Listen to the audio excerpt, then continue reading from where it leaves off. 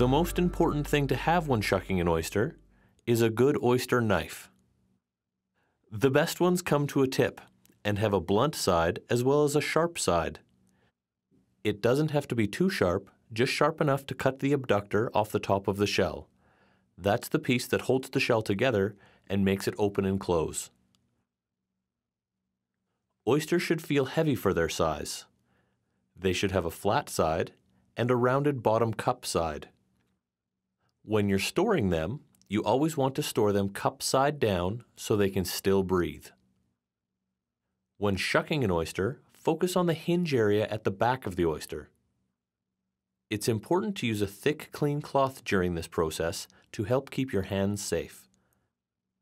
Fold the clean cloth over top, take the oyster knife, and stick it right into the hinge.